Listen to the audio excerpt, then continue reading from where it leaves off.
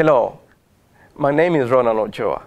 I am research entomologist of the Systematic Entomology Laboratory and a curator of the Smithsonian National Mite Collection at Beltsville, Maryland. I work with plant-feeding mites at the United States Department of Agriculture. The genus Brevipalpus, a hard fight.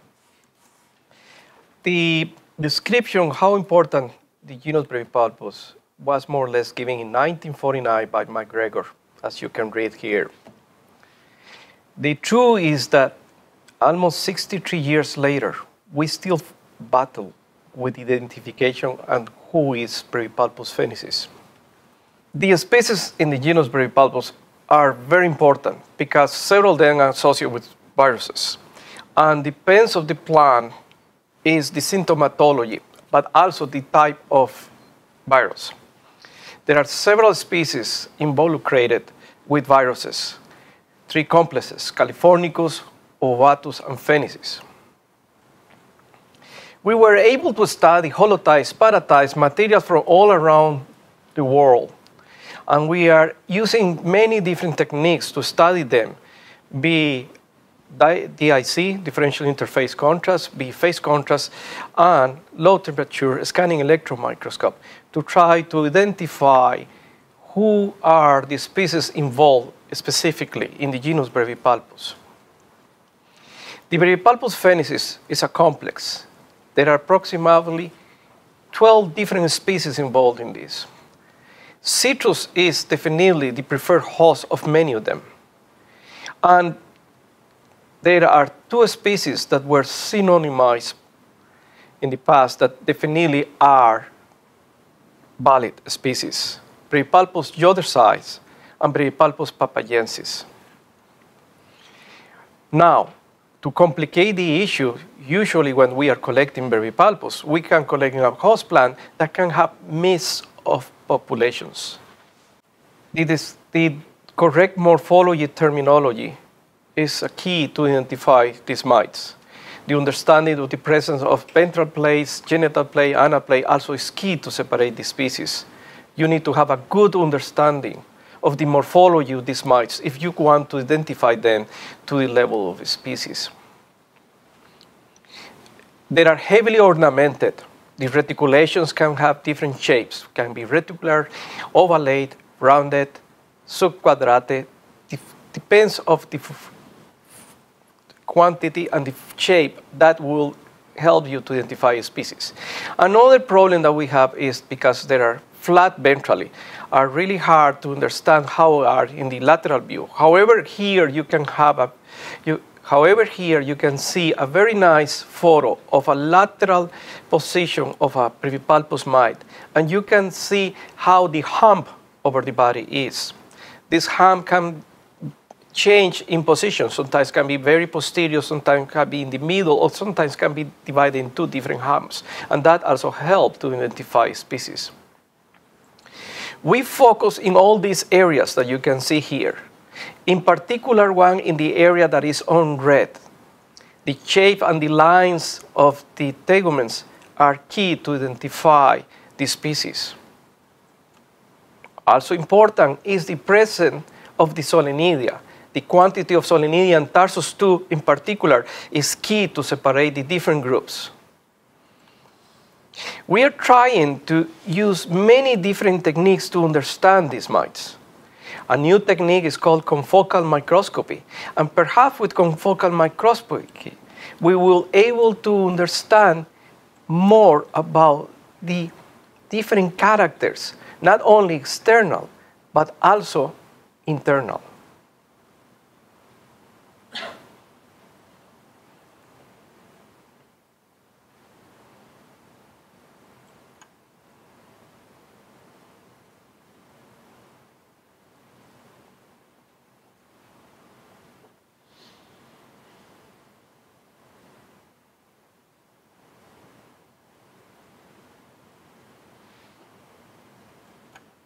The palps are linear, and the number of setae at the end of the palp are also key to separate the different groups in the genus Brevipalpus.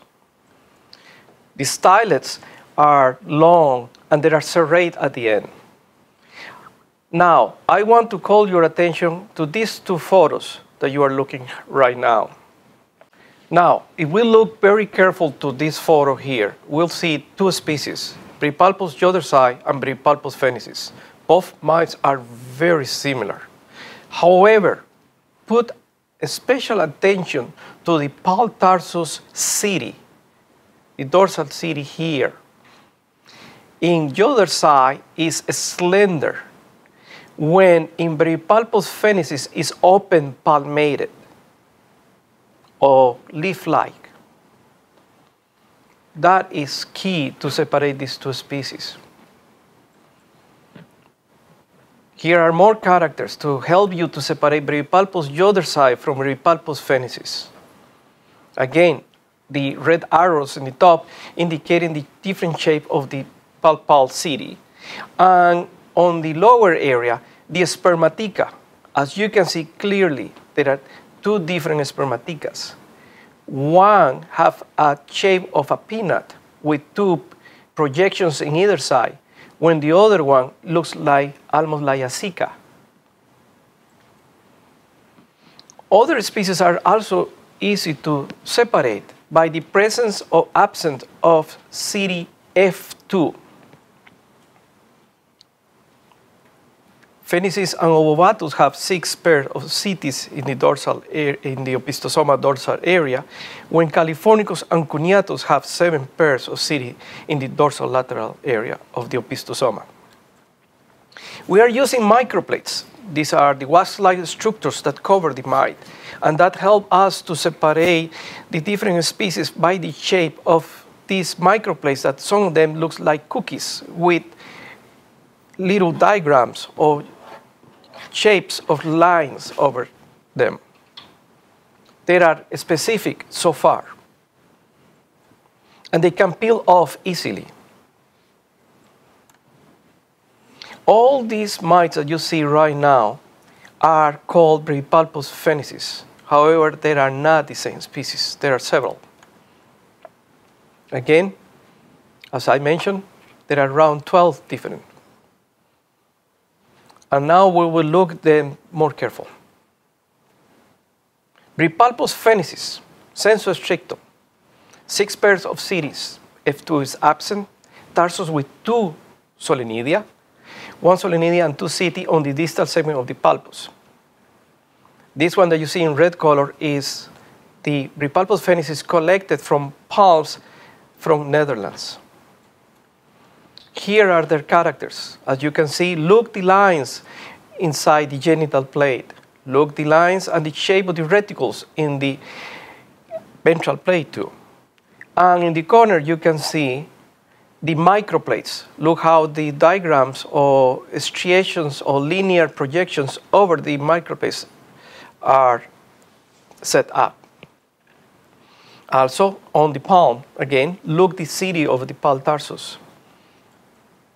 Here we are comparing Brevipalpus phoenicis with another real Brevipalpus phoenicis that were located in Costa Rica on citrus.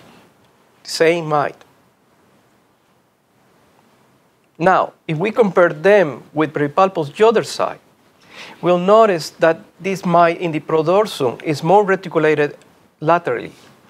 Also in the opisthosoma, you can see two strong groups in the central area of the opisthosoma. The pulse city, more linear. And the microplates, more simple. And sure, this spermatheca. Under DIC, this is what you will see. But to understand the mites, also we need to understand what happened with the mite? How the body show the colors when it's a young female and goes to adult female. This is key as unfortunately in some countries and some papers has been describing the different tones of colors of the mites as a different species. Again, it's always good to do comparisons with other mites in, under DIC. Here we have Brevipalpus yothersi and Brevipalpus papayensis. The one that say Netherlands is Brevipalpus phoenicis, sensu stricto. You can see lower the one that say Brevipalpus yothersi, that is the type species, and also you can see Brevipalpus yothersi from Australia, Texas, Mexico, and Brazil. And you can see both still sharing the characters over the dorsum of the opisthosoma. In the right lower corner, we see Brevipalpus papayensis. That is a species that is located at the moment in Hawaii. Here, again, more photos to help you to separate Brevipalpus yothersi and phoenicis. Let's go in detail. Phoenicis, yothersi, and two undescribed species in the lower area. You can see how the central area is ornamented. Notice how smooth is the area laterally in the, close to the base of the legs. Now on the opisthosoma, the other side. and the undescribed species in the lower area. And now, just look into the ventral plates and genital plates. Look all this set of these five species. Brevipalpus phoenicis, Brevipalpus yothersi, and Brevipalpus papayensis. In Brevipalpus papayensis, look the ventral plate. You can see that the ventral plate have some of the cells going longitudinal, going down, when all the other ones are going horizontal. Here is Brevipalpus papayensis. It's a very robust mite with very strong grooves over the opisthosoma. Again, microplates have been key to separate these species. But you have another tool to separate these species, and it is the spermatheca. Be familiar with the spermathecas. Immatures are important. Observe the kind of type of setae in the immatures, especially the E3, F2, F3, H2, H1. There is variation between them. Brevipalpus californicus is another group. This is a big complex with many different variation tones and very particular shape of the body as is more elongated than the phoenicis groups. Here, this hysterosoma has seven pairs of setae, including F2 is present. Tarsus 2 with two solenidia, one solenidia and two setae on the distal segment of the palp. And the group with 12 known species, Ambripalpus californicus sensu may represent 14 different species. Here are the microplates and the dorsum. Look how beautiful is that reticulation. Ecology and biology is important in this group, where the fits, where it's located, which major fruit crops are, is associated. All that is key character. But also start to look also on the eggs. The shape of the eggs, the cover of the wax over the egg may help us to separate this species complex. The larvae is key also. And again, the immatures, the type of setae in the immatures, especially the dorsolaterals, F2, F3, H2, H1, is key to understand this group.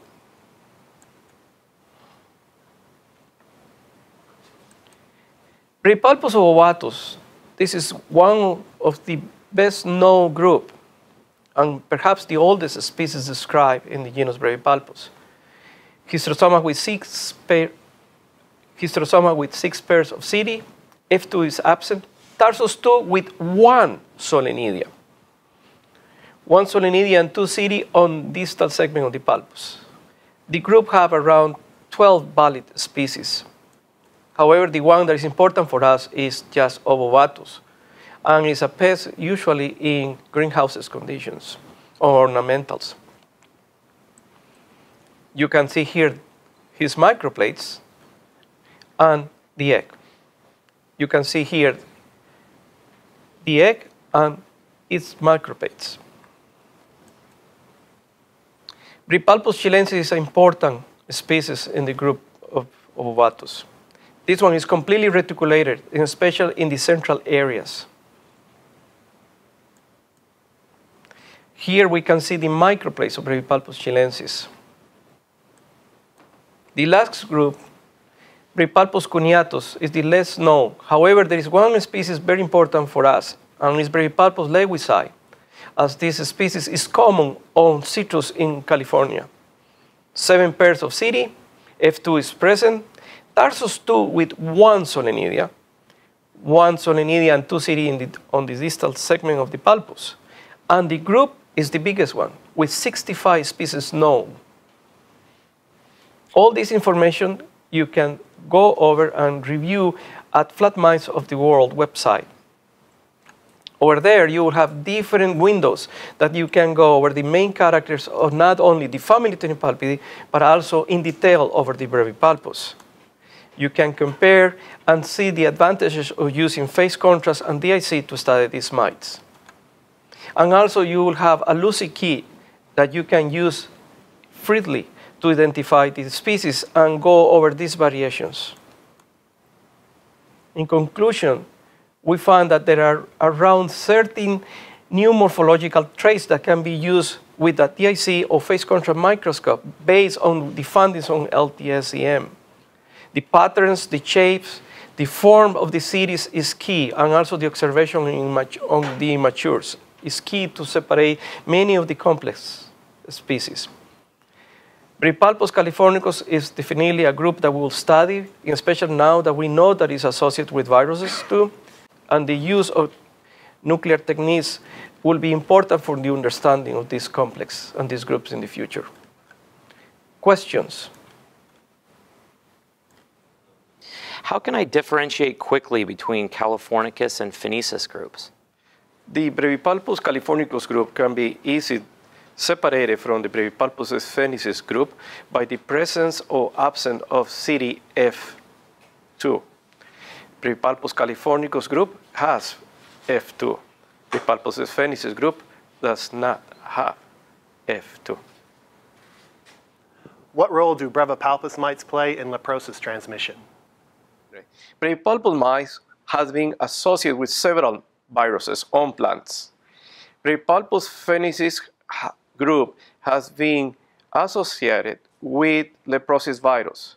However, Brevipalpus yothersi is apparently the mite that carry cytoplasmatic leprosis virus, when Brevipalpus californicus has been associated with nuclear leprosis virus.